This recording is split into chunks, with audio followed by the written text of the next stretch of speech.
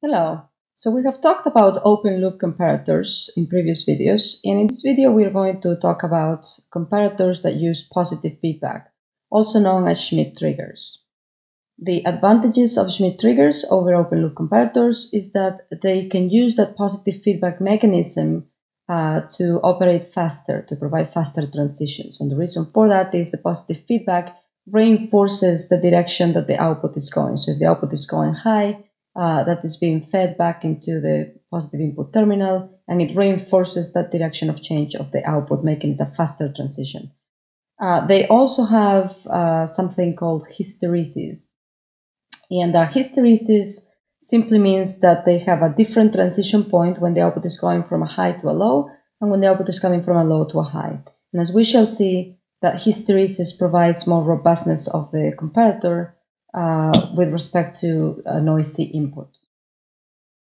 So we uh, have an example here of a Schmitt trigger. We can see that there is a, an op-amp or a comparator configured with positive feedback. The output is being fed back uh, to the positive input terminal.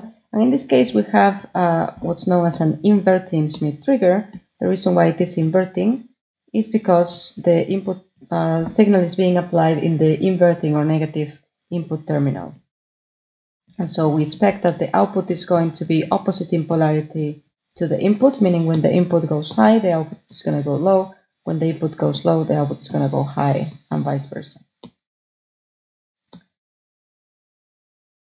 Um, now notice that there are two possible uh, output states, and that is when the output is uh, high or when the output is low. Let's imagine that this is an, an op-amp uh, Schmitt trigger, and the op-amp has saturation voltages or plus minus Vsat.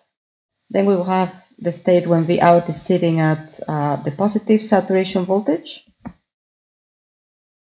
And uh, in that case, we can see that the because V out is being fed back into the positive input terminal via voltage divider, the value on the positive input terminal is going to be equal to R2 divided by R1 plus R2, times uh, that saturation voltage times V out. Um, in the case when V out is equal to negative saturation, so let's imagine it was sitting at uh, positive saturation and uh, this was the transition point, the value of V plus becomes our reference or transition point, and let's imagine that now V in increases, so it becomes higher than that value of Vt. Then our V out will go to negative saturation and our V plus will be sitting at R2 divided by R1 plus R2 times negative V sat or we could call it negative Vt where Vt or the transition voltage is uh, generally equal to R2 divided by R1 plus R2 times Vsat.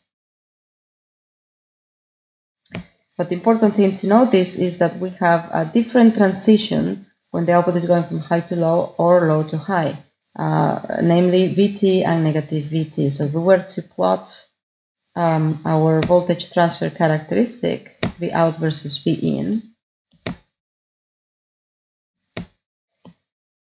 we will have that uh, if we start with V in being low and V out sitting at positive saturation, then um, our V plus voltage will be sitting at Vt, and so it will take for V in to become higher than that Vt voltage for V out to transition. And so V out will be going in that direction.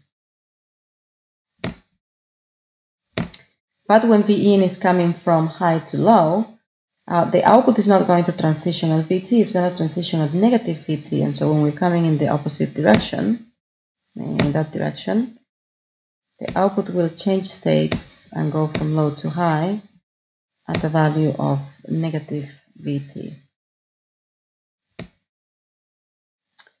And this phenomenon of having those separate transitions between low to high or high to low, that's referred to as hysteresis. And in this case, the amount of hysteresis will be equal to 2 times Vt. Uh, I notice that it is programmable. We can program it by selecting adequate values for um, R1 and R2. Now we mentioned that uh, hysteresis makes the circuit more robust to noise in the input. And the reason why that happens is, let's imagine that we have an input signal And let's imagine initially it is a, a clean sinusoidal input signal. If we had a uh, comparator, as any of the previous open loop comparators that we have presented, where there is no hysteresis, then uh, imagining that our reference voltage is sitting at zero, so that will be our transition voltage, we will expect that the output of our circuit uh, will be low, since this is an, an inverting comparator, will be low whenever V in is high, and then it will be high whenever V in is low. And so we will get a clean uh, square signal. Let's imagine now that our input signal had some noise. Uh, and so it wouldn't be a clean input signal, but rather a noisy input signal. I'm exaggerating the amount of noise a little bit. But notice that if we zoom into the uh, zero uh, transition point, the zero volt point, we will see that due to the noise, it's possible for the input signal to cross that zero point a few times before it finally uh, becomes consistently negative, or likewise when it's crossing it in the opposite direction before it cons becomes consistently positive. Now, in an open loop comparator that has no hysteresis, every time that uh, the input signal crosses that zero point, because of the noise several times, what's going to happen is that there's going to be a change in the output voltage. And so instead of having a clean transition in the output from low to high, we would rather have uh, several small transitions before the output finally settles to its final voltage. Um, and again, that's because there is those multiple zero crossing points at the input due to the noise. If we have hysteresis, it, the output signal will not go from high to low until uh, the input signal has has gone beyond the transition voltage uh, in one direction. So if it is going from, let's say the output is going from low to high, uh, it really takes for the input signal to go to a negative VT value before the output signal will flip um, and switch to a high uh, value. And in the case of the low to high transition, the input signal will have to go past positive VT for the output signal to transition uh, to its low state. And therefore, I will expect that my output signal will be cleaner. Uh, depending on how noisy my input signal is, I will be able to adjust my, uh, my amount of hysteresis in order to avoid false transitions to, to noise. Now, uh, we could do a little example involving an inverting Schmitt trigger. Let's imagine that we have an inverting Schmitt trigger um, with an op-amp, saturation voltages of plus minus 13 volts. And uh, we've set R1 resistor to 10 kilo ohms, and uh, we're going to see what happens for two different values of R2, 33 ohms and 2.5 kilo ohms. We know that the transition voltage in the first case for R2 equal 33 ohms is going to be equal to uh, 33 divided by 10k plus 33 times the saturation voltage, which in this case is 13 volts. So Vt in the first case is going to be equal to 2.48 millivolts. And for um, R2 equal to 2.5 kilo ohms, my Vt will be equal to 2.5k divided by 10k plus 2.5k times the saturation voltage 13 volts or 2.6 volts. So what will happen if say I have an input um, which is a triangular signal of amplitude 6 volts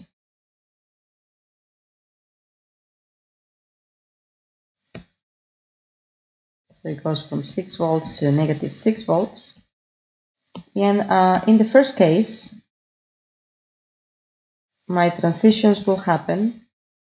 So this is my V out in the first case. And we know in the first case my transitions are going to happen uh, whenever my input signal crosses plus or minus 2.48 millivolts. So when it crosses plus 2.48 millivolts, my output is going to change from its high state to its low state at that uh, point. And then it's not going to change back to high until my input signal reaches negative 2.48 uh, millivolts. So that will be my switching point. And again, not going to change until the next time my input signal um, crosses that point and so forth. In the second case, I will get something similar, except my new transition points are now going to be when my input signal crosses 2.6 and negative 2.6 volts. So in the first case, it will be the 2.6 volt point, where I will transition from high to low. Also, I will have to go all the way to 2.6. Not a very good scale there, but hopefully you get the picture before it transitions and so forth. So what I will end up with is um, a shifted version with respect to the previous case. Uh, still notice that the uh, in, in this particular case, the hysteresis, the transition points, even though I can control how much hysteresis I have or how wide it is, uh, it's going to be symmetrical with respect to the, the zero volts. So plus minus a symmetrical value. Thank you.